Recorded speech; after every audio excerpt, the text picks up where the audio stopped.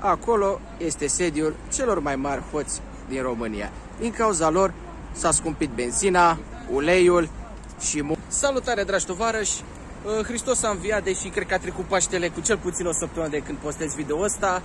Uh, în timp ce stăteam pe balcon la cazarea mea aici, în mini-vacanța mea și beam un Desperados, mi-am dat seama că ar fi o ocazie bună să fac un vlog.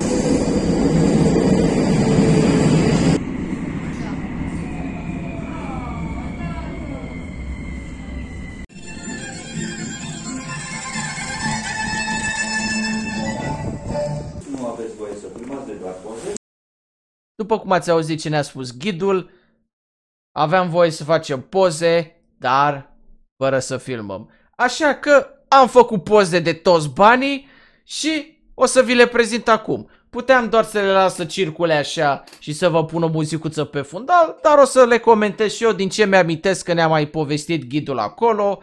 Foarte multe ne-a povestit, dar dacă stau să povestesc, să încerc să-mi amintesc tot ce mi-a spus și să repet și eu la rândul meu, o să iasă un vlog foarte lung. Ca idee, turul a avut 45 de minute. Dacă mă apuc și eu să mai comentez, o să iasă prea lung. Așa că, hai să vă arăt mare parte în pozele făcute. Avem aici și una bucată uh, bilet. Acesta este biletul Casa House of Ceaușescu. Expoziție permanentă. Așa arată biletul. 40 de lei, parcă și pentru studenți o reducere de vreo 5 lei sau 10 lei, nu mai știu. Oricum, merită văzut. Să începem. Avem aici prima încăpere, fix când ne-a spus ghidul că nu avem voie să filmăm. Și oarecum înțeleg de ce, ca o ultimă paranteză, ca o paranteză înainte să trecem la treabă, înțeleg de ce nu ne-a lăsat să filmăm. Că așa faci două, trei poze, le pui pe net, vede lumea, zice, hm, interesant, hai să vin și eu. Așa dacă deja filmezi tot turul, nu prea mare același farmec. Mă înțelegeți? Adică ai văzut deja cu totul ce e acolo și ghidul ce rost are să vii doar ca să-ți mai repete la o dată în față. Mai dai și bani, așa e pe gratis. Și măcar așa cu pozele faci reclamă, că nu e tot turul de 45 de minute într-o singură chestie ca să o vezi. Îi înțeleg. Așa că noi comentăm toate pozele făcute de 40 de lei. Deci, prima cameră cu un birou, ceva carte, agenda mare, ștampile, telefoane. O să vedeți foarte multe tablouri, covoare din astea persane cum erau la modă pe vremea aia și cum mai au și bunicii noștri sau majoritatea oamenilor de la țară, unii au și pe pereți. O să vedeți multe statui din astea cu oameni în puța goală, ceva gen aș spune stil, art, stil de artă și cultură Grecia înainte de perioada creștinismului. Cam așa, că în perioada creștinismului au dispărut toate statuile cu nuditate, mă, toate, majoritatea. Vaze o să vedem multe, avem la ce să ne uităm. Poze aici cu Nicolae, cu Elena, din nou cu nevastă sa, Marea Chimistă, cum mi s-ar spune, un tablou cu un țăran român, nu este o persoană anume, e un tablou pur și simplu, că lui Ceaușescu îi plăceau tablourile, niște vase primite, am uitat de unde, dar foarte scumpe, o tablă de șah electronică, cum ne spunea ghidul, Uh, practic e ca și cum te-ai jucat cu calculatorul. Îmi plac foarte mult texturile astea pe pereți, încăperile foarte luminate, că geamuri mari, scuzați-mi WhatsApp-ul. Uh, tavanul cu modele foarte faine. De asemenea, uite aici avem și un păun. O să vă zic imediat de ce am fotografiat păunii. Candelabre mari, o să le vedeți imediat. De ce am fotografiat păunul? Ei bine, Ceaușescu avea păun și în continuare sunt păune acolo.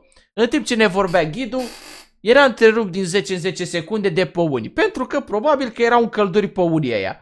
Vorbea un pic ghidul, după aia începeau păunii. A! A! Mai zicea ghidul 3-4 cuvinte iarăși păunii. A! Bine, nu pot să emit cum face un păun. Imaginați-vă voi că am făcut exact ca păunul. Dacă auziți un păun că face cum am încercat eu să-l imit, vă rog eu, omorâți-l și curmați suferința cât mai repede. Da, și zicea ghidul că o să ajungă friptură păunii aia. Dar zic eu, și așa se apropie întâi bai. Face perfect, atunci am și eu concediu, la fix o să fie. Direct la mare îi duc. La mare pe grătar, la mare îndepărtare.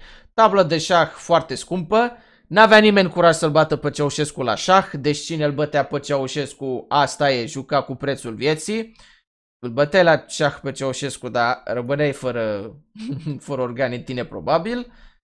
Dar oricum, mișto modelele astea. Chiar dacă ești un mobilier vechi și sunt covoare de-astea antice care s-au decolorat de la cum bate lumina, uh, cei drept, casa asta este mult mai mișto decât orice penthouse de ăsta modern. Adică aș prefera să am o casă din asta mare, izolată termic ca lumea, cu mobilier, cu fântână interioară, cu grădină interioară, o să vedeți ce condiții aveau. Adică pentru o casă construită în războiul rece, e mult mai mișto ca multe case de-astea moderne ale milionarilor. Și Remi se juca și Remi în perioada aia. Uite aici e fântâna interioară, pe aici curgea apă, dar uh, o țin oprită. Cei care se ocupă de, care au grijă aici, mă rog, angajații statului, nu pentru că vine factura mare la întreținere, ci pentru că o să crească uh, umiditatea, se modifică temperatura și posibil crescând umiditatea să apară mucegai, să se mai deterioreze covoarele sau tapeturile, nu tapet, tapeturi sau, mă rog, ornamentele de pe pereți, uh, mobilierul. Ideea e că e o temperatură constantă acolo, din ce am înțeles.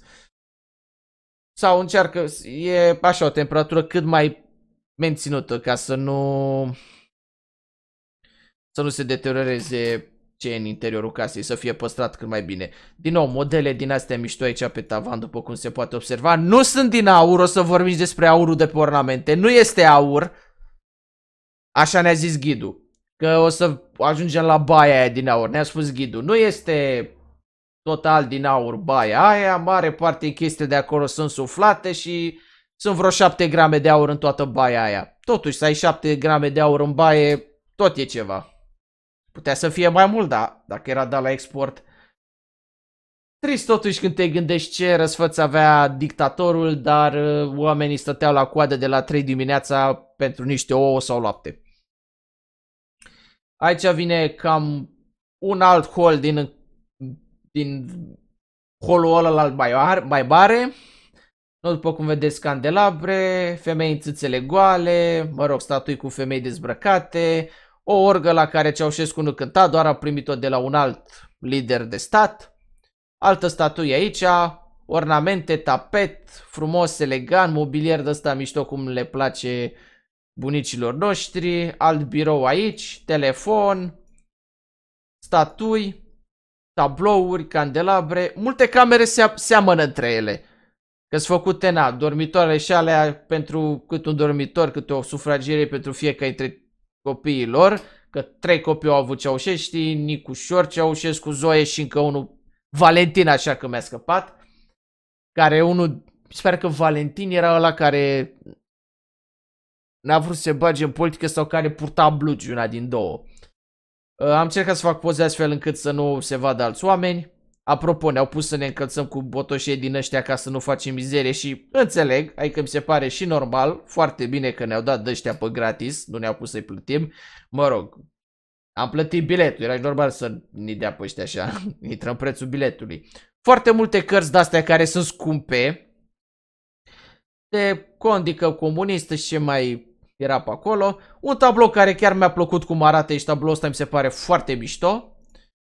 Aoleu, nuditate, n-aveți voi să vedeți asta, o statuie cu o femeie, nu? Dar cred că pot arăta asta pe YouTube. E o statuie, nu e, adică vedem statui cu David și cu Venus, sunt țele goale.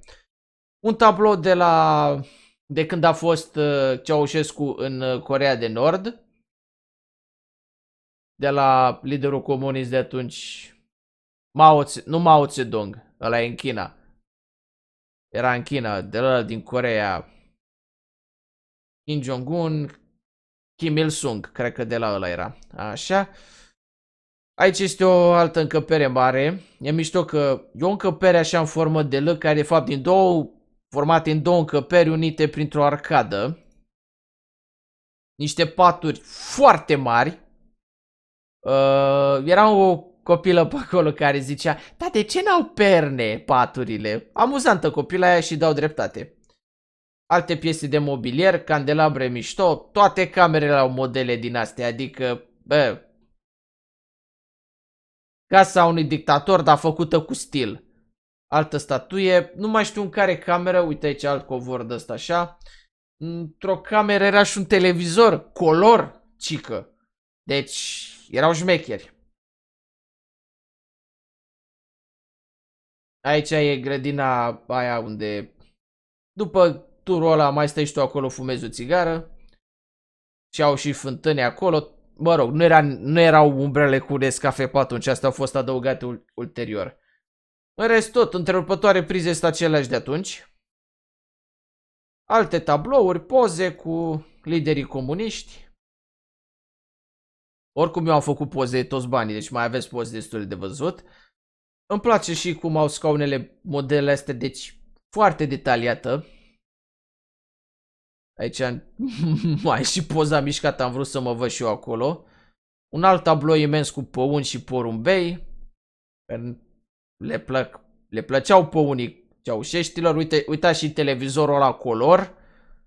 Unul dintre puținele televizoare color la acea perioadă.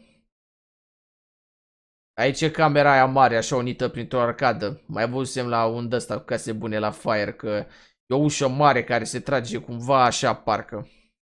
Nu scapă mie cum era descrierea. Ce mai avem pe aici? Uite și șemineu, frumos așa din marmură. Bă, da, atât de detaliat și nu spereții cropați, adică, bă, e întreținută ca lumea clădirea asta. Cred că e mai întreținută casa lui Ceaușescu decât casa poporului, decât unde stau acolo hoții aia. Sau la guvern acolo, la Victoriei. Ăia de-au scumpit benzina. Un alt birou, că avea foarte multe birouri, văd că scaunul ăsta e mai vechiuț așa. Uite și scrumieră, de se fuma pe vremea aia, se, se fuma în interiorul clădirii înseamnă. Cred că scrumieră e aia. Alte tablouri, poze, de asta era vorba. Ori Valentin sau ea. Nicu. A, deci deci Valentin era la în politică și Nicușor Ceaușescu sau Nicu Ceaușescu era cel care își permitea să poa îndrăznea să poarte blugi. Rușine, bă, adică îți faci poză cu Ceaușescu purtând blugi evazați sau flaușați, cum li s-or spune. Rușinică, rușinică. Nu-i frumos așa ceva. Da, îndrăznea să poarte blugi. Și nu mai știu care dintre fiii lui Ceaușescu, cred că tot ăsta care poartă blugi, a murit pe la 40 ceva de ani de ciroză că îi plăceau petrecerile și era bețiv. A zis mai pocolte că era bețiv. Ghidul. Așa, un alt dormitor. Cred că ăsta era dormitorul lui Nicu Ceaușescu, dacă tot era poza aia cu el acolo. Un pat mare, mobilier frumos, scaunul ăsta e cam urât. Pot să zic și eu ceva de acolo că e urât, că na, nu e foarte wow. Dar se potrivește cu tot ce e acolo. O baie care nu este aur, este imitație de aur. Se vede că e un capac, e un wc vechi ăsta, dar... Să ai asemenea baie, adică, bă, parcă altfel te caci într-o asemenea baie. Aici mă văd și eu acolo, să mă văd și eu în poze. Ăsta este un cântar pe care se cântăreau cei din familia comunistă. Foarte, foarte mișto, aveau cântar pe vremea aia.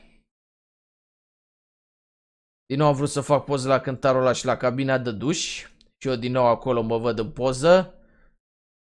Nu, nu e tricoul ăsta de pe mine, cel de acolo, dar seamănă. Ăsta e un tricou de la fosforescent, se vede capul de mort în întuneric. O altă cameră aici. Ăsta, nu știu, trebuia să imitație șemineu, uite-l din nou pe fisul care, pe unui băieți Ceaușescu care își permitea să poarte, cu el să poarte blugi. Haoleu uitați niște țâțe. Eu care, ghiciți ce, purtam un fel de blugi când am intrat acolo și mai ales rocker cu păr negru, lung. Nu eram pe placul lor. Cred că le-am lăsat niște păr. Alte tablouri din astea. Sau, nu, ăsta e covor, nu-i tablou. O, dar e mișto rău canapea asta. Dar cred că o canapea de asta costă mai mult decât casa mea. Uh, foarte detaliate totuși toate piesele de ceramică sau nu știu ce, vazele astea foarte detaliate cu desene pe ele, exact cum e formatul ăsta cu plante în stânga-dreapta, măsuță cu două scaune și... Deci exact cum vedeți camera asta, la fel mai erau încă vreo două. Au repetat formatul ăla, l-au menținut că na. Să nu fie, cum să spun, o discriminare între copii, nu să aibă o cameră de un fel, nu. Le-au făcut cam la fel ca să nu existe dispute că unul are cameră cu mobilier mai într-un fel sau așa. Ceea ce, da, aș putea spune egalitate între, între moștenitori. Era tare să fie, existe și favoriz, un favorit al lor la nivelul ăla. Alt candelabru mișto, dormitorul uneia dintre copii. Vedeți că la dormitorul ceaușeștilor o să le vedeți și pijamalele că sunt puse acolo pe un pat. Și nu știu dacă aerul ăsta condiționat era. Acum l-am văzut. Nu s-a vorbit de el atunci, cred. Uh, nu știu de ce...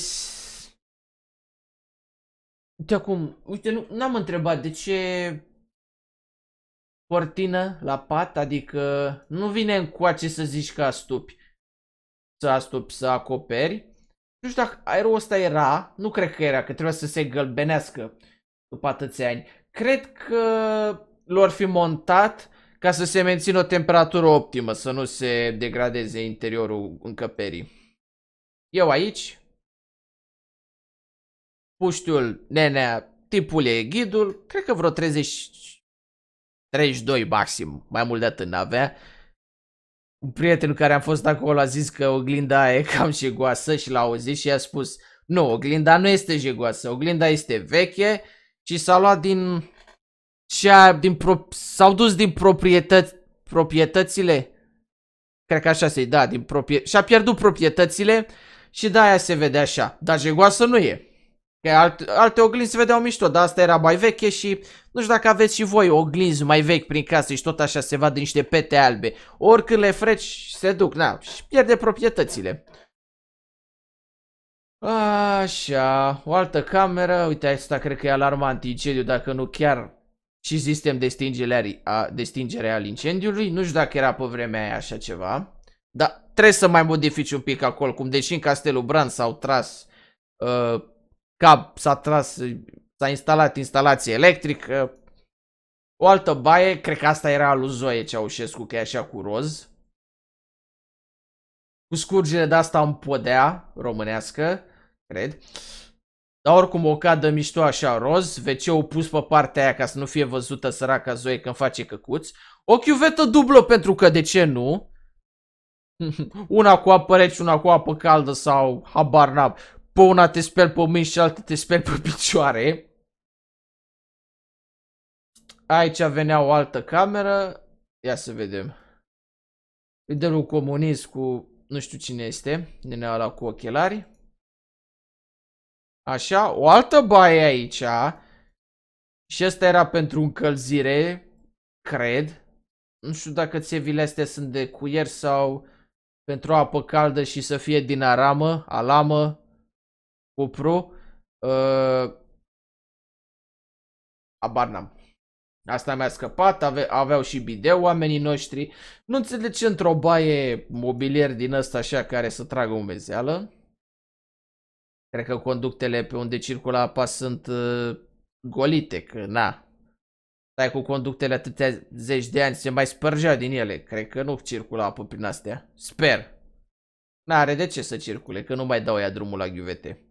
Tablouri multe pe aici cu diferite scene de teatru sau de cultură europeană, unele și cu cultură asiatică, uh, un seif în care țineau documente, nu bani, că bani la valoarea lor acolo băgau maxim 0,002% din cât aveau ei.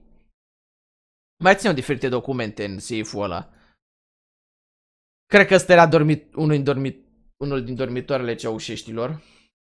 Aveau mai multe și ei.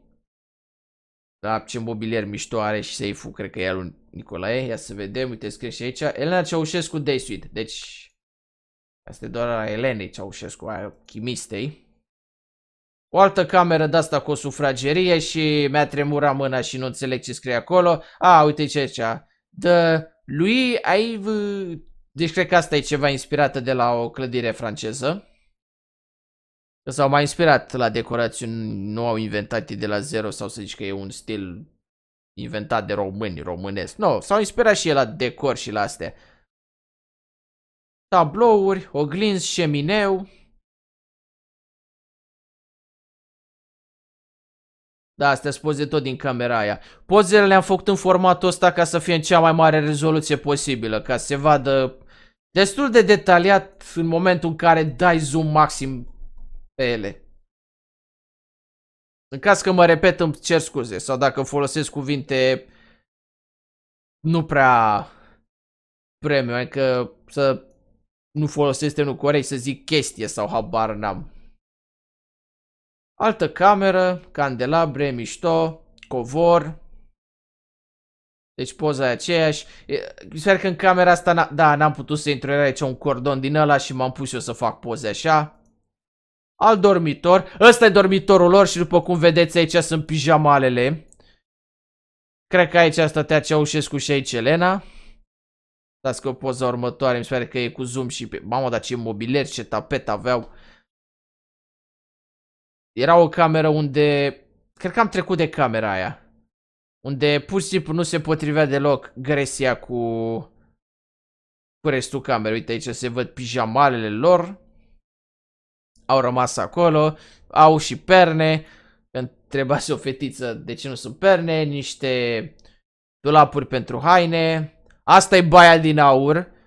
Deci nu sunt din aur, sunt suflate cu aur și maxim sunt vreo 7 grame de aur în toată baia, cică. O fi, nu fi așa, nu știm.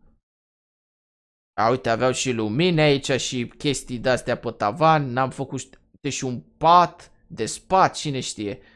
Am făcut la poze acolo în camera aia se vadă tot. Uite, măsuță de asta. Nu înțeleg, bă, de ce să ai în umezeală. Bine, și permiteau să le schimbe, dar totuși, uite, am făcut post și la chestia de pe tavan de ce ar trebui să repriste, că am uitat cine a spus. Uite aici, aici voiam să ajung.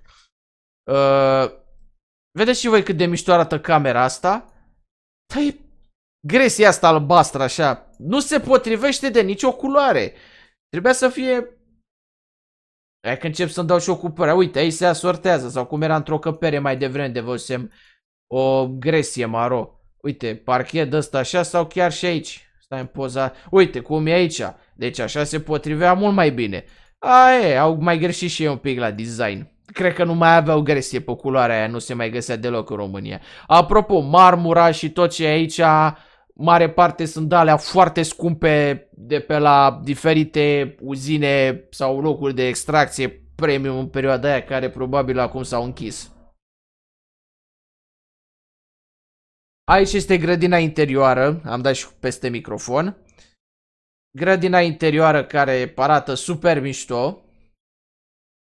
Are o legende cum că aveau crocodil sau ceva, dar nu e adevărat.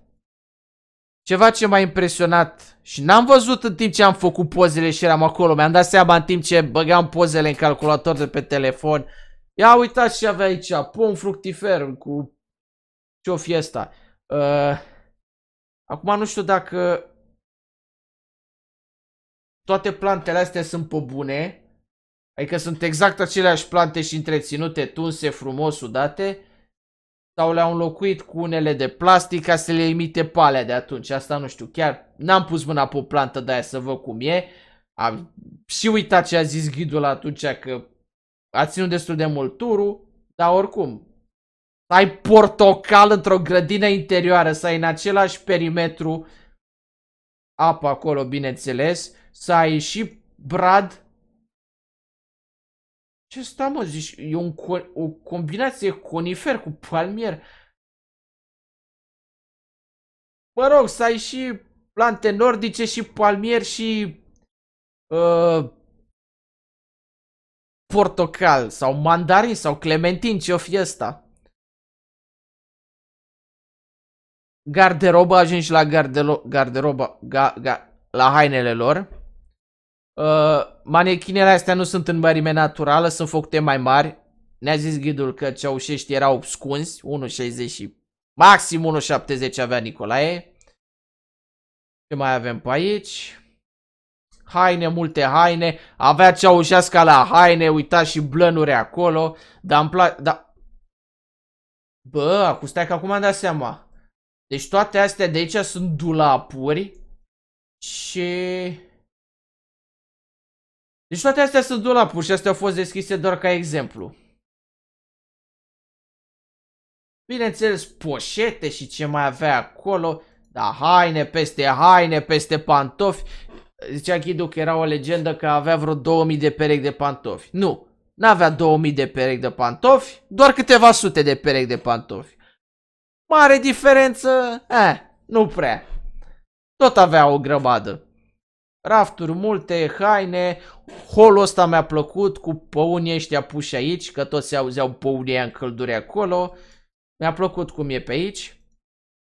Bazinul de not, care e mai mic ca un bazin olimpic, da. Să ai bazin, piscina ta proprie, e ceva. Cu toate